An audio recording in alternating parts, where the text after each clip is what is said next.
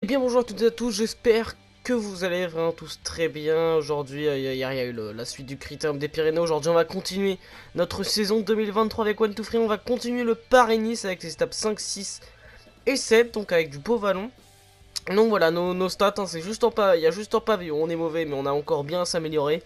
Sinon, on a déjà un 80 de résistance. Et si jamais on passe en tête d'un col de catégorie 2 dans cet épisode, ça nous fait un 82 vallon et 75 montagnes. Et ça, et ça c'est très intéressant les amis.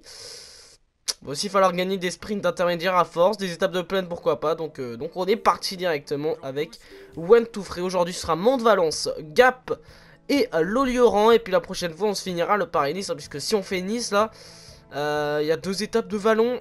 Donc avec Nice ça ferait un peu long, ça ferait un poil long. Donc on va direct aller, euh, on fera Nice dans le, dans le prochain épisode, on fera Nice et Paris-Roubaix. Voilà comme ça ça deux épisodes, euh, deux vidéos, euh, de, de concepts, de, deux, compétitions voilà, en même temps. Mais de toute façon, le Paris-Roubaix, on jouera pas la victoire, hein, donc il va pas prendre énormément de temps. Donc on y va. Mont Valence, on est parti. On va surtout au sprint intermédiaire, donc, hein, puisqu'on n'a pas grand chose à, faire d'autre dans cette étape. Pourquoi pas envoyer quelqu'un dans l'échappée? Aussi, ça peut être cool. Euh, pourquoi pas renvoyer Albazini Il me semble que c'était lui, ou alors je confonds avec le pro team. Non, non, c'était bien Albazini, donc on va envoyer Albazini. Allez, on arrive au sprint intermédiaire. Je vais tenter de remonter avec euh, One to Free un petit peu. Donc voilà, notre beau maillot jaune. Oula, remonter, ça va être compliqué. Hein. Ça va être très très compliqué. Euh, non, je suis pas sûr qu'on va réussir à remonter jusqu'au bout, mais on va faire le sprint quand même. En tout cas, voilà, voilà l'avant.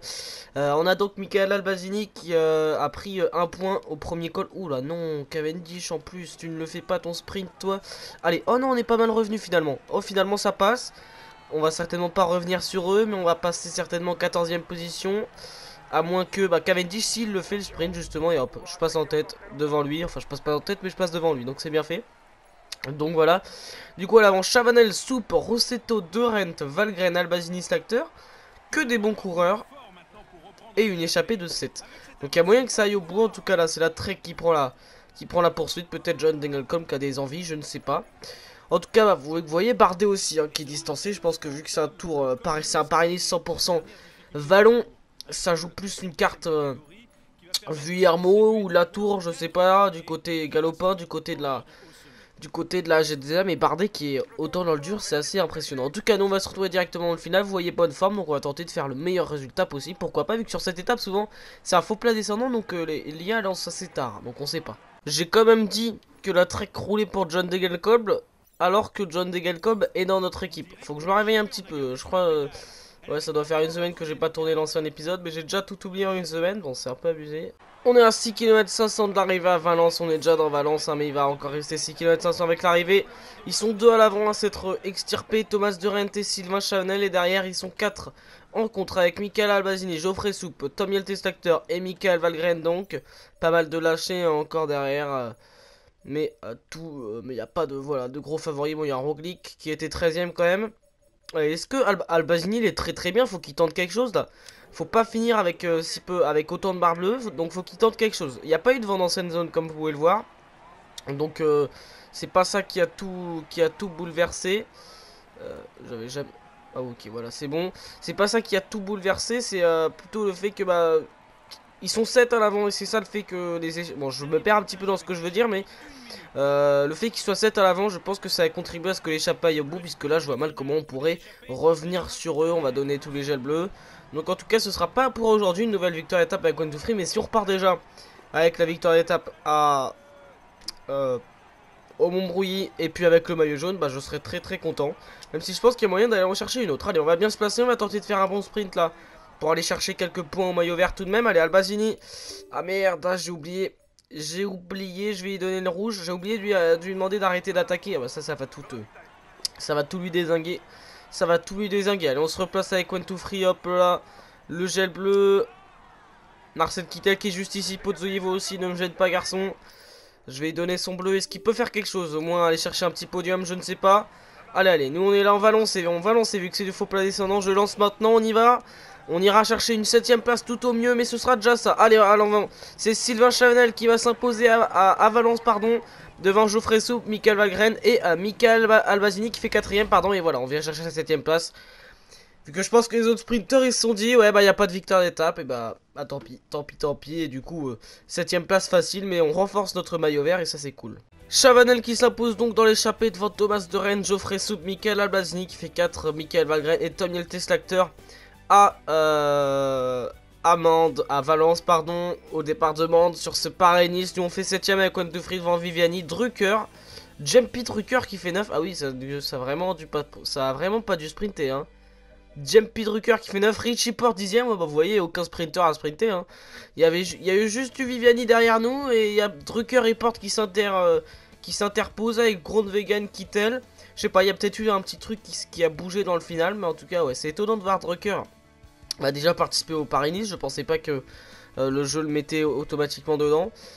Peut-être parce qu'il a dû le faire en vrai, en général c'est comme ça qu'ils font les startistes, mais en tout cas Porte qui fait dixième aussi, c'est étonnant. Bon allez, une étape sans gros écart je pense, hein. le général euh, Valgren qui remonte à la deuxième place.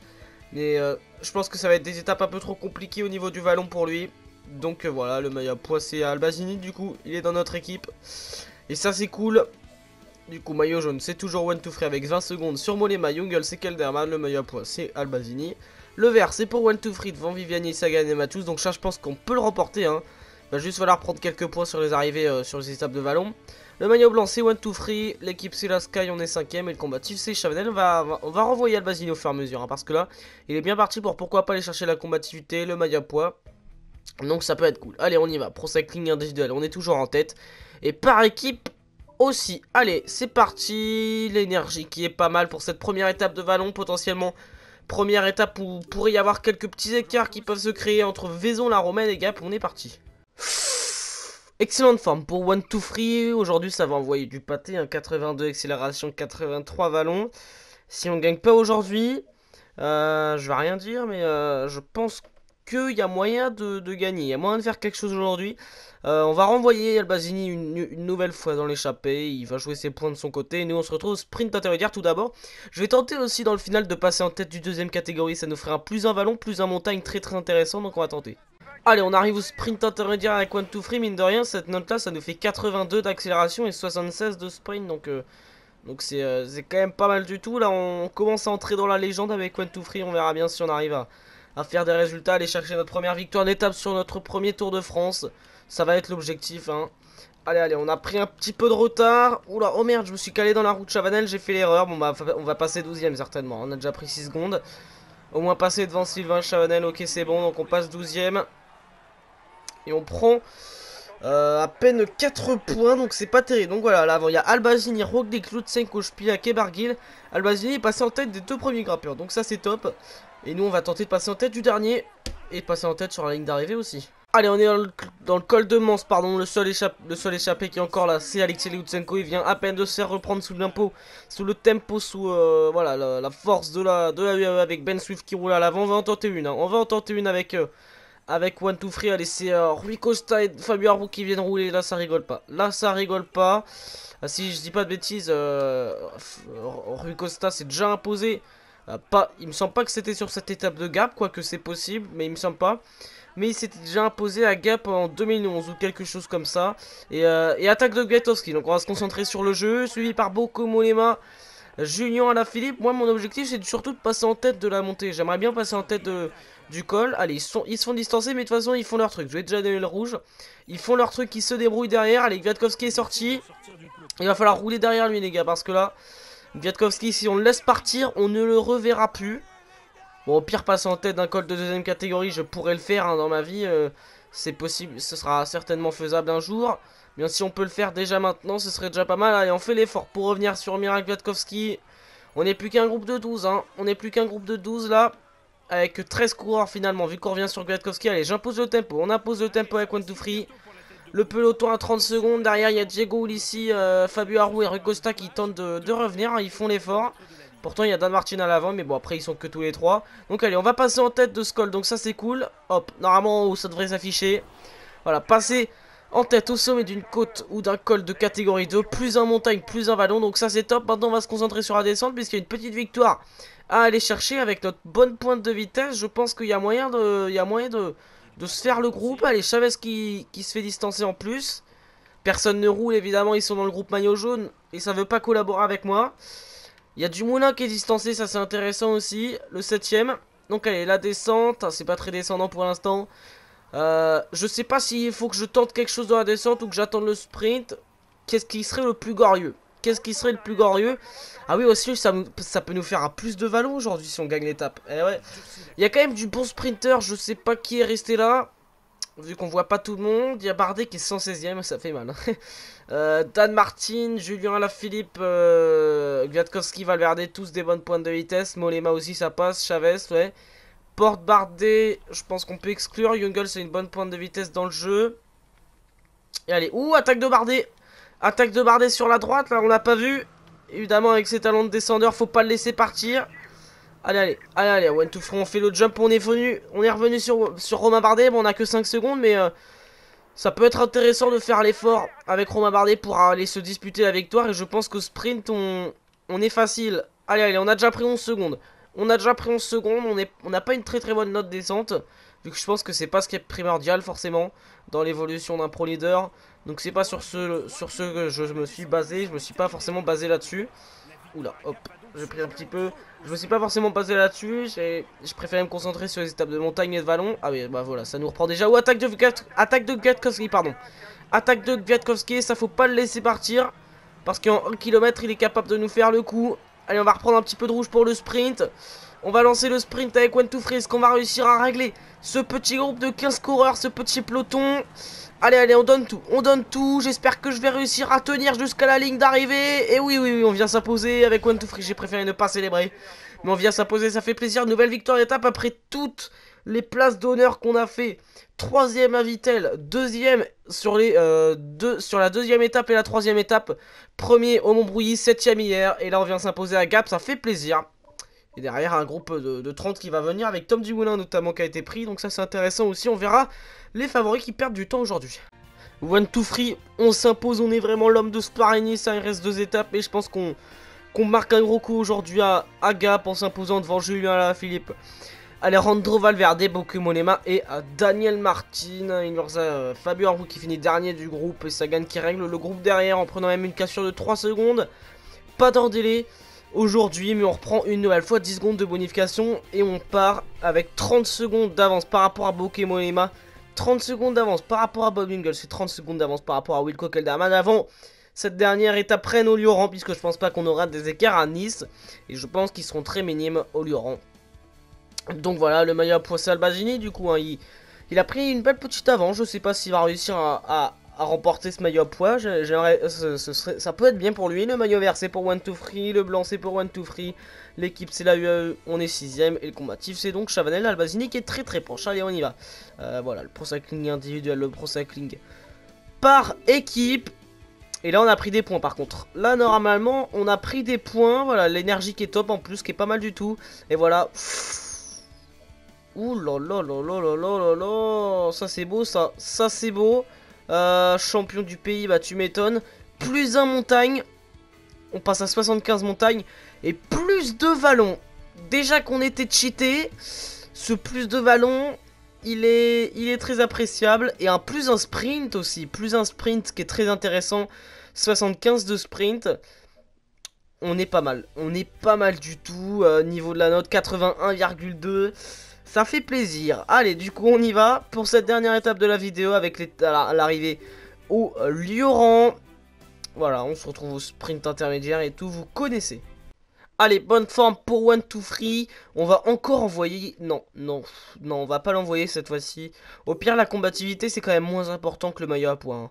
Donc il va rester dans le peloton pour cette étape-ci. On va envoyer quelqu'un d'autre, hein, euh, toujours avoir quelqu'un l'avant. Donc pourquoi pas envoyer Michel Critter. Donc nous on va rester sur One to Free et on va envoyer Cruder dans l'échappée. On se retrouve au sprint d'intermédiaire pour toujours conserver notre maillot vert encore et encore. Allez on est au sprint intermédiaire, je vais remonter un petit peu avec One to Free mais sinon on est pas mal placé. Allez non on est un peu loin, on est un peu loin, pas petit coup sur les pédales sans, en, presque, presque sans utiliser de rouge et on est pas on est pas mal, on est pas mal, on est pas mal. Allez allez on donne tout, on donne tout, on donne tout puisque c'est du faux plat descendant là juste après Viviani qui revient très fort. Est-ce qu'on va réussir à passer devant lui? Non non. Viviani qui passe, j'ai tout donné là, Viviani qui passe quand même devant nous euh, sur ce sprint intermédiaire, mais on perd que un point sur lui, donc euh, normalement c'est fait, il hein. n'y a, pas de problème, on a presque 50 points de plus que lui. En tout cas, Chavez, Barguil, Manchester, Stra, Mollard, Valgren à l'avant, il y a du beau monde. Et il y a aussi euh, Michel Creder qui s'est interpellé, qui s'est interposé dans cette échappée. Voilà, il va faire le, meilleur qu'il peut, hein, mais je pense pas qu'il ira très très loin. Allez, on va passer au sommet du col du Pertus. Il y a qui a tenté un contre au sommet euh, du col du, du Puy-Marie, donc du pas de Pérol. Et il a réussi à faire un petit écart. Il est encore à 37 secondes d'avance par rapport au peloton et euh, au petit groupe qui vient de se former là, mais c'est pas grave, on va, on va tranquillement rentrer dans la descente. Et donc c'est parti pour les 13 derniers kilomètres de cette étape du Lioran, la dernière étape où il y a possibilité de creuser des écarts sur le maillot jaune et de mettre en difficulté euh, One to Free. On verra bien s'ils arrivent à, nous mettre en difficulté. Allez, tous nos, tous nos coéquipiers qui n'ont pas réussi à résister, il reste plus que que Pozzo qui est dans le groupe, euh, bah, qui est dans notre groupe et qui va peut-être pouvoir nous aider pour le final. Je pense qu'il y a peut-être moyen même d'aller chercher la victoire étape. Hein. C'est un final qui nous correspond avec une petite remontée euh, juste à bah, pour aller euh, jusqu'à la ligne. 700 hein. mètres, je sais pas. On doit divaguer sur du 6,5%. J'ai inventé un mot. Hein. J'ai clair... Enfin, j'ai pas inventé un mot, mais j'ai revu son sens. moi, j'aimerais bien rentrer là sur ce groupe avec, oulala, avec Valverde parce que Valverde, il est sixième quand même, il faut pas trop lui donner de d'écart. Voilà, on est rentré. Allez, Barguil qui est juste là, hop, on prend la route de Nero Quintana. Allez, on va attaquer la dernière... Et eh, on est sorti à 7, ça, ça peut être intéressant, justement. Euh, qu'est-ce que je voulais dire euh, Ouais, bah, on va attaquer euh, les 8 derniers kilomètres de cette étape. Hein. On va tenter de, de faire un petit résultat. On va certainement revenir sur Calmejane. Par contre, là, il se forte fort. Je vais, attendre le peloton. Je vais attendre le peloton. Je vais demander à Pozzo de venir me protéger. Allez, allez, allez, on va, on va, partir pour 5 km d'ascension. Pas très très pentu, mais qui vont, qui vont probablement euh, sceller notre victoire sur ce Paris-Nice. En tout cas, je l'espère bien. Les Calmejane qui, euh, qui reprend un peu du poil de la bête. Et attaque de Richie Porte. Attaque de Richie Porte. J'ai rarement eu des attaques très tranchantes sur cette étape quand je la jouais. Et puis là, on a une attaque dès le pied du col de Fonser. Donc ça fait plaisir. Allez, Pozzoivo. Bon, allez, Pozzoivo, il est grand. Il va faire ça. Il va faire sa course. Moi, je vais me débrouiller tout seul avec, euh, avec One to Free. Allez, allez, on reste placé. On reste placé. Ce qui est sûr, c'est que gagner le Paris-Nice, ça donne rien. Alors normalement, potentiellement, ça pourrait donner quelque chose. Allez, moi, j'ai pas d'intérêt à tenter d'attaque. Au pire, bah voilà, c'est la Movistar qui prend la, qui prend la chasse derrière les Lilian Calmejane. Mais Lilian Calmejane, il est français. Moi, je suis finlandais en tant que finlandais, un français. Je vais le laisser gagner. Enfin bon, oui, voilà. Je dis que je vais pas prendre le risque d'attaquer maintenant pour me faire contrer après et perdre bah, 30 secondes. On sait pas 30 secondes qui peuvent faire la différence. Et puis euh, bah, nous enlever ce Paris-Nice qui est quand même un, bon accomplissement euh, dans une carrière. Allez, calme-toi, 30 secondes à 2 km 300 du sommet. Est-ce qu'il peut résister le coureur albigeois de la Direct Energy On verra bien ça. Il est juste là, hein. il est juste là, il est, vachement dans le dur quand même. Je prends tout mon gel bleu. Je préfère ne pas tenter d'attaque. Je préfère tout garder pour euh, la petite ascension finale et aller chercher pourquoi pas une victoire à étape. En tout cas, ça roule fort pour Rigoberto Urán. Là, on croit en Rigoberto Urán du côté de la, de la meuf Drapac avec Michael Woods et, euh, Pierre Roland. Nous, on est toujours là. Pozzoevo est là aussi. Va faire son truc. Hein. Je vais donner son rouge. Hop là, un max de rouge à tout le monde. Et euh, calme Jeanne, 13 secondes. Il va se faire reprendre à 1 km du sommet. C'est terrible parce que s'il basculait dans la descente, il y avait vraiment moyen. Mais on le reprend maintenant. Allez, aucun intérêt de passer en tête euh, au sommet maintenant vu que bah, on a plus d'objectif de passer en tête au sommet. Mais il y a une attaque, une attaque de Bob Jungle sur la gauche de la route. On a aussi Julien Alaphilippe qui tente. Enfin, c'était l'inverse. Julien Alaphilippe sur la gauche et euh, sur la droite. Allez, faut pas les laisser sortir. Il faut pas les laisser sortir du tout. Allez, allez, faut s'accrocher, faut s'accrocher, pas trop perdre de rouge non plus. Et hop là, on est parti pour la descente vers l'arrivée avec One to Free. 2 km encore. Est-ce qu'on va réussir à s'imposer, à chercher une nouvelle victoire étape, la troisième sur ce Paris-Nice avec One to Free ici au Lioran, on verra bien. Allez, allez, allez, allez, récupérer un max de rouge, je vais reprendre un peu de gel rouge. Et c'est parti pour le sprint au Lioran, je vais dire à, voilà, posez-vous sprinter, il a tout compris. Et hop là, Richie qui lance, on va prendre la droite de la route qui sera le chemin le plus court je pense.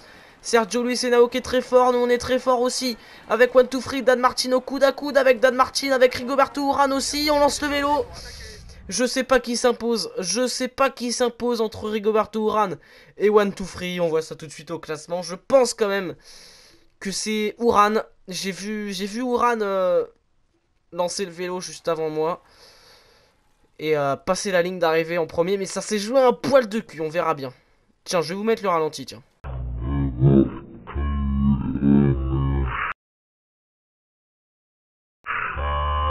Vous l'avez vu, c'est Ouran qui s'impose donc au Luran, ça s'est joué un poil de cul, un poil de cul.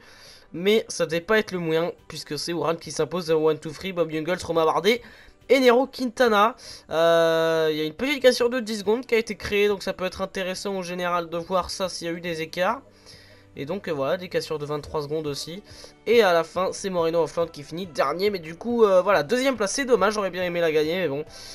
Ça s'est pas joué à grand chose. Je suis peut-être parti un petit peu trop tard, je sais pas. J'ai voulu trop récupérer dans la descente et j'aurais presque dû me concentrer à récupérer euh, avec ma, mon gel rouge au lieu de me mettre en position aérodynamique et perdre des places. Bon, nous on reste en jaune, c'est ça l'important. on risque de remporter ce Paris devant Bobby Ungles, Polema. Euh, du coup, au général, Wilco Kelderman et Amiral Gviatkowski ou ranké 8ème. Du coup, avec cette belle victoire, Zachary 9ème et à la Philippe 10ème. On a Poto Ivo qui est dans le top 20, donc c'est pas mal pour lui. Le meilleur point, c'est donc Albazini qui est en tête, mais il y a pas mal de points distribués sur l'étape de Nice, donc attention, et surtout que l'échappée est très compliqué à prendre. Le maillot vert c'est pour One to Free, ça on va le remporter, c'est sûr et certain, donc c'est cool. Le maillot blanc c'est One to Free, devant Moscone et la tour.